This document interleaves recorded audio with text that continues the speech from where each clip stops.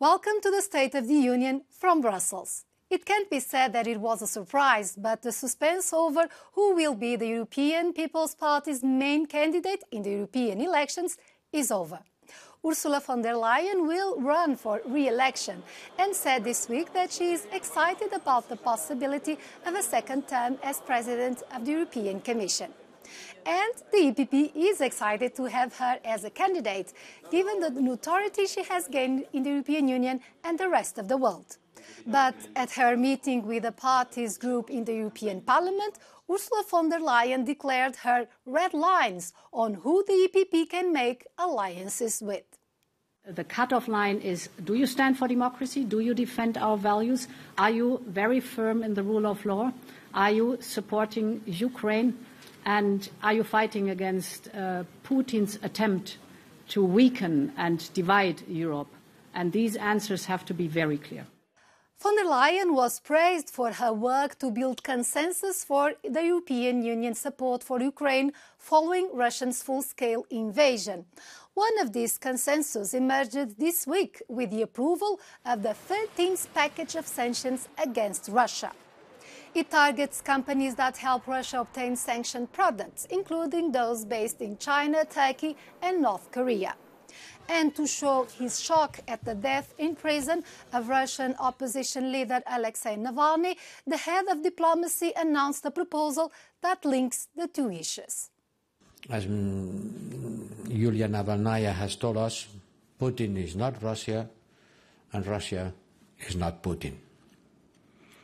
You have just issued a statement on Alexei's death and I have proposed to the ministers to rename our global human rights sanctions regime with his name. This will be a way of uh, keeping his memory alive. Foreign ministers expressed their political agreement with this proposal, Borrell said.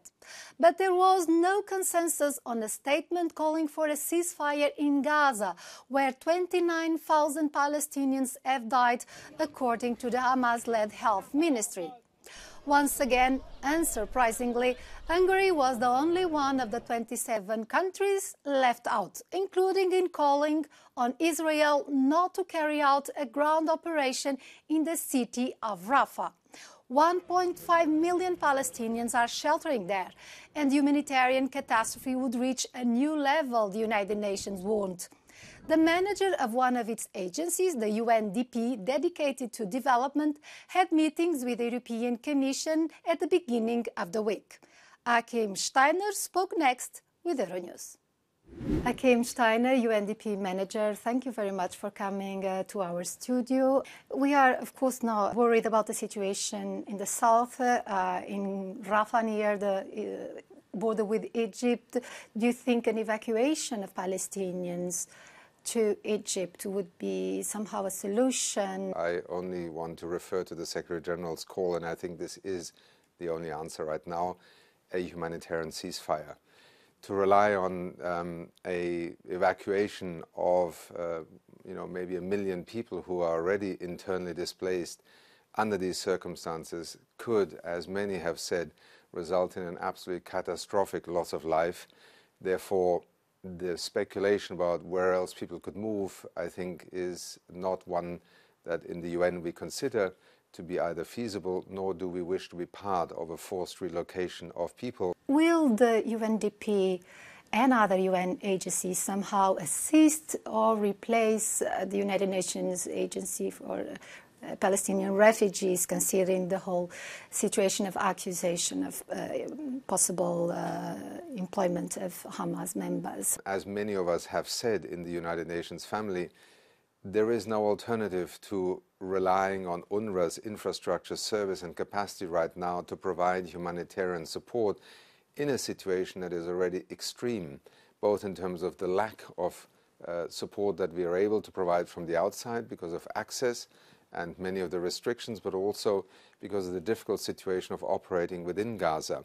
We are looking at how we can work with each other in order to expand the space for humanitarian support and then ultimately also to help people recover. That is as well the situation in Ukraine, which I imagine was also featuring high in your discussions with the European Union uh, counterparts.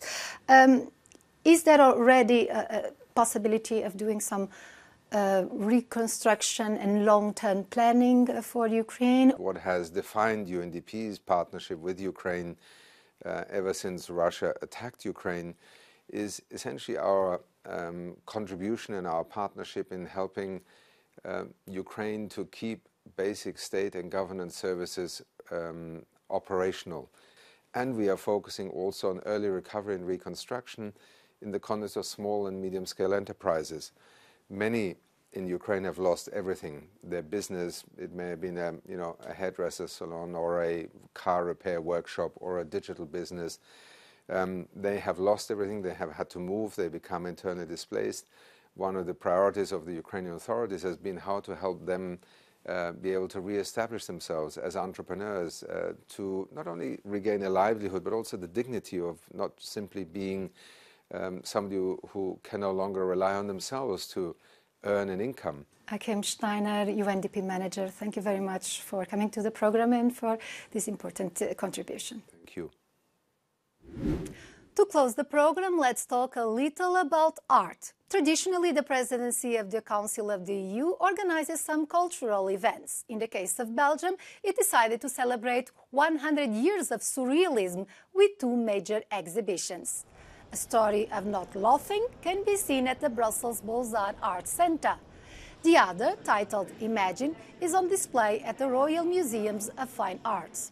One could say that some political events in Brussels are often the scene of some surreal moments. That's it for this edition. Thank you for watching.